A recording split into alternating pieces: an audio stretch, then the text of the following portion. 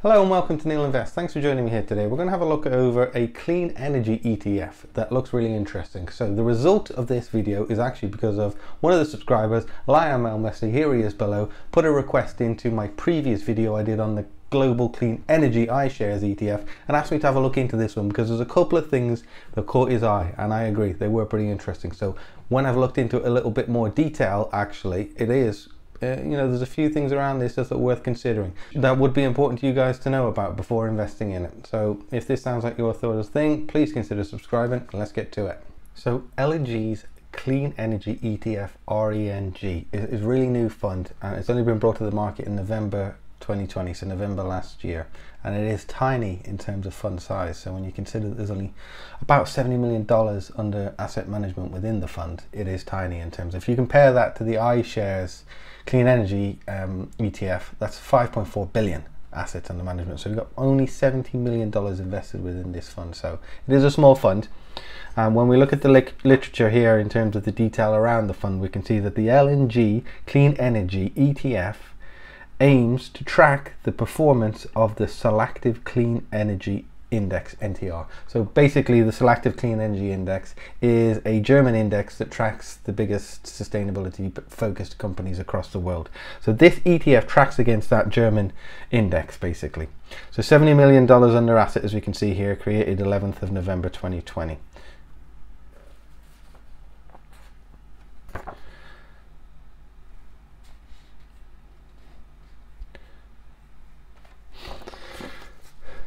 So the first thing that caught my eye is this. So before we get into that, if you're new to the channel, um, I do work in sustainability as part of my day job. So I do sit on a number of independent bodies throughout the UK that focus on sustainability of in FMCG, um, fast moving consumer goods.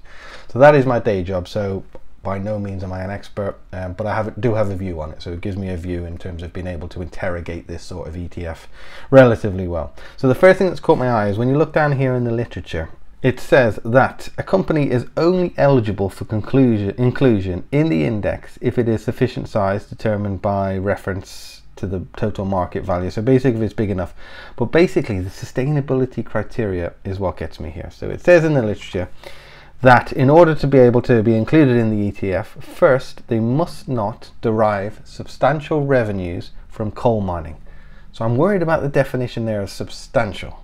So what is substantial? It's not clear. So they must not be involved in substantial revenues from coal mining. So that could still mean, well, you that's anyone's definition of what substantial means. I mean, is 100 million substantial? Is 10 million substantial? I don't know. But basically, if you're involved a business that's involved and creates money and creates revenue from coal mining, by your very definition, you are not a sustainable business. The mining of coal and burning of fossil fuels is one of the worst things you can do in terms of harnessing energy in this day and age. So not clear there. The second thing is must not be involved in the manufacturing of controversial weapons. Now, first off, why the hell would a clean energy be in business be interested in arms? Perhaps perhaps it's a nuclear aspect, but I, I don't quite get it myself. However, again, I'm concerned with the ambiguity of this definition of controversial weapons. I mean, what makes a weapon controversial? What you got there? Uh, a grenade. Fine, carry on. What you got there? Machete, double-edged. Get out. I mean, what is the difference? What makes one what makes one controversial and one not? Not clear to me again. And finally, the most valuable of the lot probably, it must not have breached the UN Global Compact principles for a continuous period of three years. So these principles are a set of guidelines that help define if a corporation is actually approaching sustainability in a genuine way or not. And that is great, but look at the criteria. And so here they are, the 10 principles of UN Global Compact. They're not hard to meet. So when you look at the 10 principles, they're broken down into a, ser a, series of buckets human rights, labour, environment, anti corruption. So, in order to be able to follow these principles, basically, you need to adhere to human rights, you need to make sure you're not incorporating modern slavery into your business. Some really loose ones on environment that we'll look at in a sec, and you need to not be corrupt. So, the environment ones are business should support a pre precautionary approach to environmental challenges undertake initiatives to promote greater environmental responsibility and encourage the development and diffusion of environmental friendly technologies. So basically be interested in environment, consider the environment and make sure you're incorporating them into your approach going forward.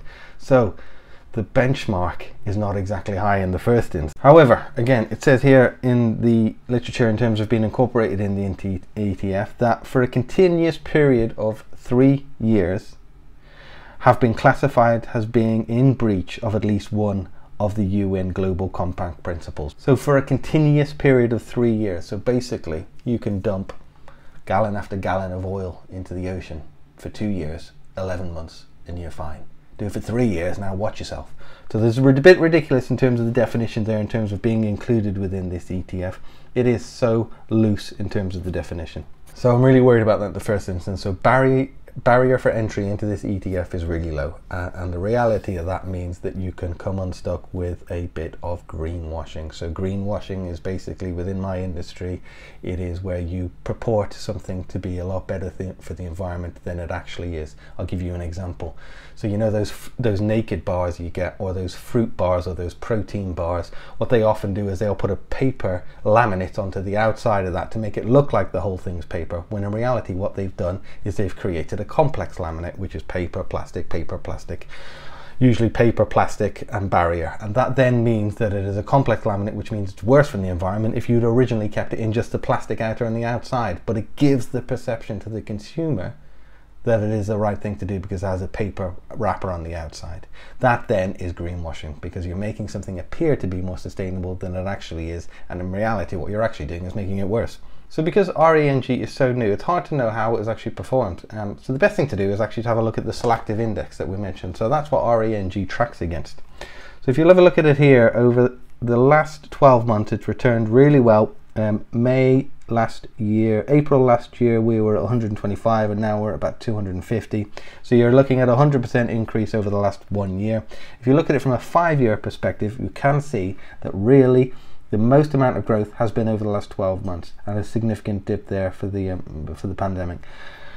Prior five years before that, though, very little growth, and the reason for that is it, it, stands to reason because the real focus within sustainability has been within the last year, and the reality is actually most people think it's been within the last three years, but it has really picked up within the last year, and that means that businesses that associate themselves with sustainable credentials that are on sustainability ETFs just like this one are more likely to be growing and they're more likely to be getting more business and they're more likely to be getting more traction and they're more likely to be getting more PR.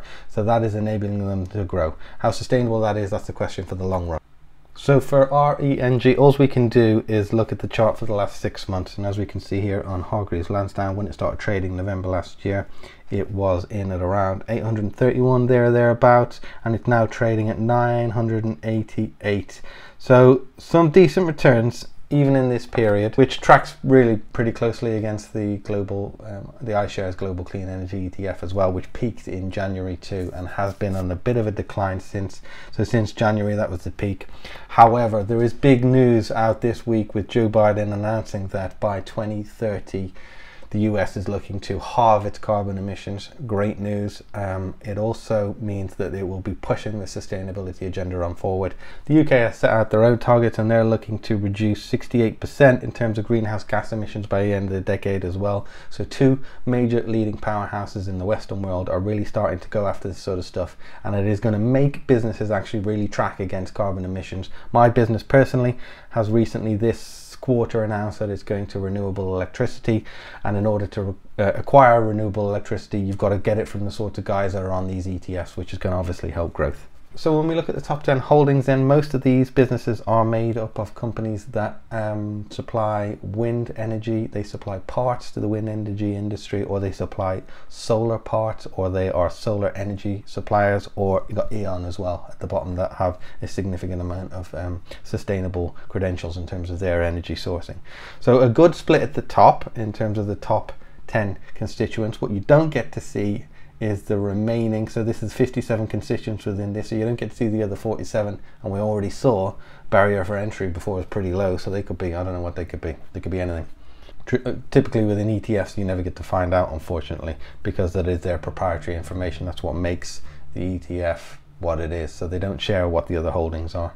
However, it's nice to see that it is relatively diversified to the number of holdings in there and it is not top heavy. So the global iShares Clean Energy ETF is pretty top heavy in terms of holding. This is really, really nicely spread and equally nicely diversified in terms of sector. So we've got 52% within industrials, 25% utilities, 12% IT, etc., etc. So nicely split. And my favorite part of this is the um, now I'm assuming that currency relates to ge geography in terms of where these businesses are based, and I'm hoping it does, because the split here is pretty nice, and it's uh, it's Europe in the lead with 29.2%. So again, iShares is US in the lead significantly, when in reality, I know within this sector, Europe is leading the way in terms of innovation and tech development, in terms of clean energy development, um, not just within energy sourcing, not just within recovery of renewable energy, but also a number of different initiatives, startups, businesses that are doing all sorts of things, um, supported by academia, supported by industry. There's a lot of activity in Europe, above and beyond anywhere else across the world. So Europe at number one, US at number two, and then it continues down to a number of different countries. And a lot of these are actually doing some pretty good stuff in terms of sustainability as well. So diversification from constituents, from sector, from currency, from geography, I really like. Now then, cost-wise, so to start with, RENG you cannot get in very many places. You can get it on the Freetrade uh, plus accounts, that's $9.99 a month. You can't get it in Trading 212. You can get it in Hargreaves Lansdown, but when we look at the costs down here, you're looking at 0.4 plus 0.49, so this is not a cheap ETF to be getting into. You're going to be losing nearly 1% of any growth that you get in this instantly if you do it through Hargreaves Lansdown. So this is not a cheap ETF to get into unless you are looking at doing it through Freetrade and you have a Freetrade account. So looking, if this is an investment that you're considering, you're considering for the long term, there is potential that you could get some good returns against this. Basically because of specifically the regulation and the requirements that are coming in from a government and a US level in terms of making sure that the energy that you supply within your business is renewable, is green, etc. There could be some pretty good growth here. So the growth potential of this ETF I think is pretty considerable. I think there could be some considerable growth opportunity here. Now what I'm worried about is the greenwashing piece that I talked about earlier. I'm not sure it does exactly what it says in the tin. I think there is an element here of trying to convince investors that this is genuinely a, a green ETF to have, and it might be. Don't know. I mean, if we could look at all of the 57 holdings, we might be able to give a view of, of what this ETF is like in depth, but they but but we're not going to get that. So it's taking a bit of a gamble. In terms of potential to grow, I think it would it's pretty good. Right. So my ISA is with Trading 212 this year, so I won't be investing in this. I'm not going to be paying the 11.95 fee through Hargreaves Lansdown. I'm not going to be paying 9.99 through Freetrade.